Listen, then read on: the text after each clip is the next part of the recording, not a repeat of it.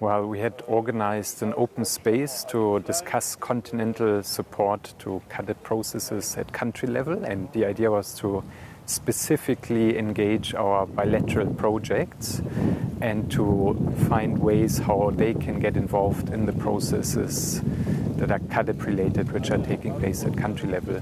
So, what came out quite clearly was that there is definitely an interest in our bilateral projects to get involved. And also, we, as the Continental CAADP Support Program, learned even more that we really have to keep our bilateral projects on the radar as well. Um, the challenge is a little bit that um, there are 55 AU member states, there are 40 CAADP countries, but we don't have agricultural projects in all of them.